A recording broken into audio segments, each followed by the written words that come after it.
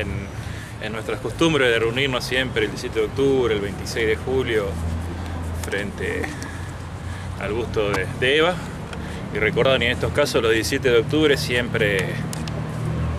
traer en el recuerdo, y ya no, no es solo el recuerdo, sino la presencia en la idea de fuerza de lo que ha sido el Día de la Lealtad y el surgimiento del peronismo como movimiento nacional.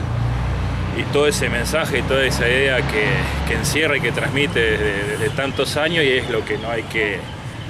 lo que no tenemos que perder y, tenemos siempre que, que, defender. Hoy tenemos tal vez un 17, varios 17 de octubre en distintos lugares del país, pero no tenemos que pensar que eso este, está expresando eh, diferencias, sino que son las distintas maneras de ir logrando la unidad. Hoy el, gobierno nacional del Frente de Todo tiene desafíos difíciles en materia económica, en reencauzar el país en la producción, en bajar la inflación. Entonces, bueno, todos estos desafíos creo que cualquier peronista debe estar dispuesto a acompañarlo porque, como se decía, ¿no? lo, lo primero es la patria, segundo el movimiento y por último los hombres. Entonces ahí es donde nosotros tenemos que, que dirigirnos y, y, entender que los 17 de octubre son para eso, ¿no? para que los peronistas podamos reflexionar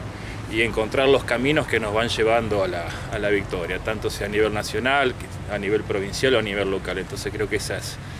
es la invitación y es el agradecimiento por estar hoy y seguiremos trabajando, seguiremos reuniéndonos para, para hacer lo que siempre simbolizó el, peronismo, el justicialismo, ¿no? un, proyecto,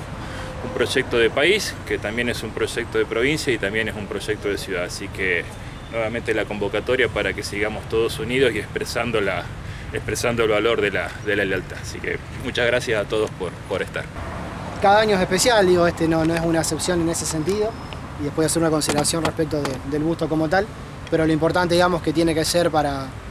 como también lo planteaba Mar, digo, para también la reflexión y, la discusión hacia, hacia adentro de, de, cómo seguir sosteniendo y defendiendo los valores por los cuales aquel pueblo salió a la calle a, a defender en la, en la, figura del general Perón la defensa de sus derechos, de las conquistas que nunca se le habían reconocido y prácticamente poder aparecer en, la historia del país eh, después de haber estado tantos años eh, ocultos o, no reconocidos.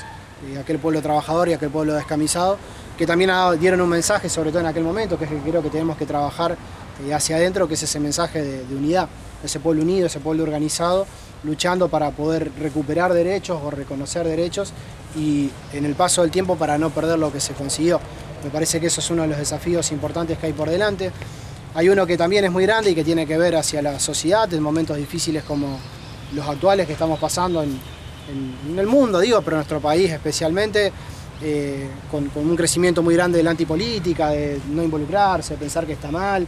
de señalar solamente lo malo y no ver lo bueno, es importante reivindicar y no dejar de lado esas banderas y sobre todo también entender el mensaje en algún modo del pueblo sobre muchos temas que los desafíos son grandes y que tiene que mejorarse, sobre todo por un simple tema que es básicamente seguir luchando y seguir reconociendo eh, aquellas personas y aquellos sectores de la sociedad que si no lo hace el peronismo nadie los va a reconocer. Y la historia lo ha marcado ya de esa manera. Hemos pasado etapas muy oscuras, etapas muy duras, y aún con los desafíos que tiene el presente por delante, estoy convencido que, que es con el justicialismo como tal. Y esos mismos desafíos, obviamente, a nivel provincial y a nivel, y a nivel local, como lo hablamos siempre. Hay una particularidad y es casi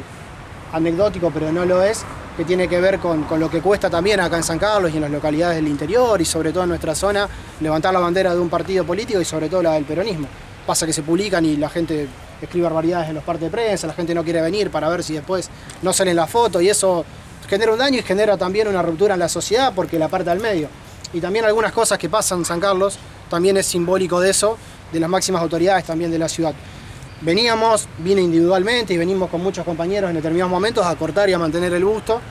Eh, nosotros, una tijera, venimos a nuestra casa, algunos con miedo a que no los metan presos por cortar acá, eh, porque básicamente la municipalidad decide mantener toda la plaza, dejarla hermosa, si uno mira está todo prolijito cortado, menos este sector, y no de hoy, y no de este año, ya hace tiempo. Y estos mensajes que tienen que ver con el odio, con marcar las diferencias, con marcar el desprecio, son las cosas que tienen que terminar en San Carlos a ninguno de nosotros y seguramente estaremos viniendo en los días venideros, se nos van a coder los anillos, digo, por venir a cortarlo, pues lo vamos a hacer con mucho amor como lo hemos hecho siempre. Pero es básicamente también que se pueda ver ese mensaje de, de ruptura social que es el que tenemos que trabajar para que no ocurra, porque si no se termina naturalizando y se naturalizaría como si uno pensara que porque una calle tiene el nombre de un político determinado, si se rompe una luz nadie la va a arreglar, o porque una plaza que se llama, no sé, Balbín, que es una plaza muy linda esta ciudad, nadie va a ir a cortar los yuyos para que vayan los afiliados de la Unión Cívica Radical. Bueno, esas cosas tienen que terminarse en San Carlos y esos mensajes de odio tienen que terminarse sobre todo en estos lugares chicos. Espero que también este día pueda servir en el mensaje que no solo nos damos entre nosotros, que mucho lo hacemos cuando no están las cámaras, lo hacemos antes, pero también para trasladarlo a la comunidad. Y sobre todo también con esto de cerrarlo, eh, también muchas veces ha pasado en estos días, o leía también, digo, en las redes sociales, o gente quería me decía, pero bueno, ustedes se juntan a festejar y la cosa está refulera. Y hay algún grado de razón en el planteo de un ciudadano de a pie que te dice, che, ¿qué están festejando? Y uno se lo trata de trasladar y es el mensaje que uno traslada también a la comunidad. No solo es un festejar de reencontrarse con las personas que piensan muy parecido a uno y que defienden valores muy similares a los de uno, sino también el reflexionar o seguir reconociendo una gesta que vino a marcar un momento de la historia de defensa de un montón de sectores de la sociedad que si no lo hacemos el sector del peronismo como tal, como movimiento organizado, no lo va a hacer nadie. Y eso a nosotros no nos genera bronca, no nos genera ruptura, no nos genera odio, sino que es un mensaje de amor en el cual nos encontramos y justamente lo que reivindicamos en estos días es eso. Así que bueno, yo de mi lado un mensaje es eso, muy simple, de, agradecerle, de trasladar feliz día y la lealtad a, a, todos ustedes y a quienes no han podido venir, agradeciendo a los medios porque estén presentes y bueno, a seguir redoblando el trabajo para seguir luchando por eso, para que aquellos valores y aquellas banderas por las que se ha trabajado mucho, por las que muchas personas han dado la vida, Muchos compañeros han venido toda la vida acá y hoy ya no los tenemos, que son muchos, que solo viéndolos los recuerdo en este momento y me emociona hacerlo. También es el compromiso para con ellos de seguir trabajando en ese sentido. Feliz día y bueno, muchas gracias a todos.